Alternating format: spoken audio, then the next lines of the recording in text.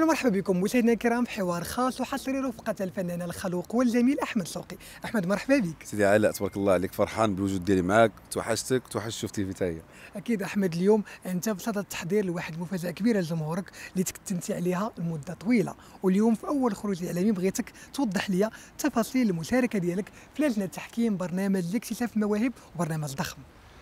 آه دائما كتسولني ساليتي حقيقة برنامج واعر بزاف آه، كي وصلت أنا عند المواهب اللي مغربية واللي كتستحق.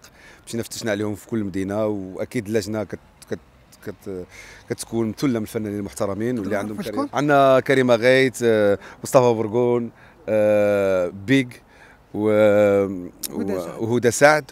وزكريا الغفولي. زعما كنظن بأن هادو أسماء اللي اللي خلقت واحد ال carrière كبير في المغرب وكيستاهلوا منا كل الاحترام. فأحمد آه، مشاركتك أو أنك تحكم على الناس. بزاف الفنانين عندهم تخوف كبير من هذه المرحلة وأنت عرفت أنه خداو منك وقت كبير في التفاوض. حقيقة دائما آه، أنا كان كيعجبنيش أنني نقدر نحكم على شي حد وسيرتو المواهب لأن كاين مواهب اللي يمكن آه، فقط الناس اللي اللي- حكموا عليها بزاف د اللجان اللي كنشوفهم في برامج.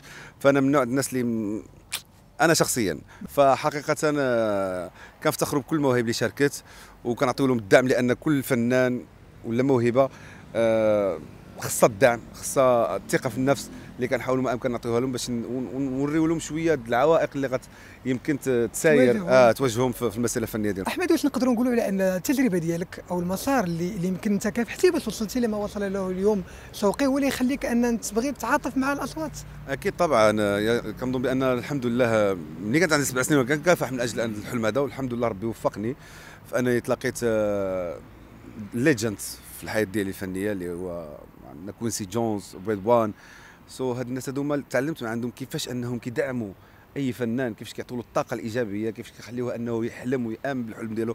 فكنظن من هذه لأن أي واحد في الدنيا راه في الداخل ديالو كاين واحد الحلم كبير كيبغي يحققه وإذا كانت عنده موهبة وزاد دعمة بشوية الدراسة كنظن بأنه يقدر يحقق ديك الشيء ويستمر فيه. وهذا هو الأصعب هو أنك تستمر فيه وكيفاش تواجه هذيك المصاعب اللي كيكونوا في الحياة الفنية لأن بصح الحياة ديالنا والله ما سهلة. كتبان في العموم انها حياة فرفشه ولكن فيها مشاكل نفسية وكفاح وماديات اللي خصك تصرف على راسك فكنظن بأن الموقف ماشي سهل. أكيد انه النجاح ماشي وليد اللحظة كيبغي أكيد. المثابرة وكيبغي الاشتغال على الذات. نقدروا نفهموا من كلامك أنه أحمد غيكون متسامح في اللجنة وأنت واقيلا لا يجي عندك le groupe ديالك. أكيد آه، ساهل تختار كل شيء أنت. أكيد ما يمكنش الناس كيتفرجوا في موهبة عائلته والديه وأنت تقول له شي حاجة اللي حين تجرب وحديته قول له النواقص ديالو ولا على من يخدم أكثر ما حدا الناس يمكن les compliments غيكونوا بدرجات كل واحد فيهم. مثلا شي واحد اللي عنده موهبة حقيقية غتزكيه أكثر واخر تقول له على قد اللي عنده mais ما يمكنش يجرح شي واحد ولا نقص من القيمة ديالو. ماشي من اخلاقي أحمد عرفت أنه أنت كتولد واحد الألبوم. ملي كنقولوا ألبوم ماشي single طبعا. شنو خصت هذا الألبوم؟ مرة واحدة آه ألبوم. أنا يمكن الفنان الوحيد اللي خرج آه، deux chansons au même temps في آه، الأغنية ديال يلا ينساها وسنتي والألبوم هذه المرة غنشوفوا كيفاش نسوقوها بشي طريقة مبتكرة وتكون spécial وجديدة. لأن أنا كيعجبني دائما نتحدى نفسي في أنني نخلق شي شي حاجة ماشي مغامرة هذه بزاف الناس كيختاروا الاستراتيجية آه، marketing دائماً كل مره كنا- يخرجوا single آه حنا دائما هذا هذا اللي اعتدنا عليه هو في الأول كانوا les albums من بعد ال singles دابا رجعوا شوية les albums عندي ديها شي واحد على اللي قلتها. يبارك لك يعني نقدروا نعرفوا المواضيع شنو غي؟ غيكونوا سبيسيال غيكونوا سبيسيال مواضيع مختلفة يمكن دي جون الموسيقى اللي أول مرة غتكتشفوني فيها. كنتمنى أنا تعجبكم إن شاء الله. واخا شوقي فنان مثير للجدل وديما ما كترافقوا الإشاعات. شنو تعليقك على هذه القضية؟ لا دابا نقصوه زيدوا لنا شوية الإشاعات. الله شي إشاعة عندكم هيدا مخبعه راه أكيد.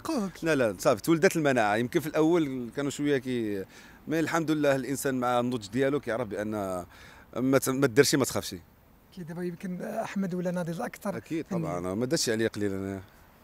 كاملين عارفين. شوقي. اليوم. إلا بغيتك تنصح الشباب اللي اليوم آه، ما عارفينش الطريق. شنو تقول لهم؟ ي- يقراو. يقراو maximum ي- ي- يوعاو. الدراسه ولا الفن؟ لا الدراسه اولا. قبل من الفن احمد طبعا بزاف. لأن الفن تقدر تكون موهبة تخلق فيك بالحق خصك تطورها باش تعرف كيفاش تحاور مع موسيقيين كيفاش تعرف الثقافة ولكن الأهم من الأمر هو أنهم يشوفوا ال- les carrières الفنانين كبار كيفاش كانوا. يقراو شكسبير يشوفوا بيكاسو شوية يشوفوا يعني التحصيل العلمي مهم. أكيد كيفاش التاريخ ديالهم كيفاش كانوا كي- كي souffrir يو في الحياة ديالهم كيفاش وصلوا ولكن بالقراية. بالموهبة لأن حين كنقولوا الفن شنو التع- التعريف ديالو هو آه، الموسيقى هي فن وعلم. الفن يمكن كينزل مع الله سبحانه وتعالى ولكن باش ضروري باش. آه باش كتسقلو مزيان في الحياة ديالك. تبارك الله عليك أحمد. أحمد ما دخلت في الحوار معك كلمة. أخيرة للجمهور شوف تيفي. كنقول لهم شكرا بزاف شكرا على الدعم ديالكم شكرا على الانتظار ديالي وإن شاء الله كونوا أكيد بأن شي حاجة غتكون في المستوى لأن كتستاهلوا غير احسن حاجة في الدنيا. وكنشكر بزاف شوف تيفي على الدعم ديال الدائم لي ليه. كنقول لهم I love you so so much تبارك الله عليك أحمد. مشاهدينا الكرام حتى هنايا ما بقى لي غير نقول لكم الحوار ديالنا وصل النهاية ديالو. كنضرب لكم موعد جديد بحوار آخر. تبقاو على خير.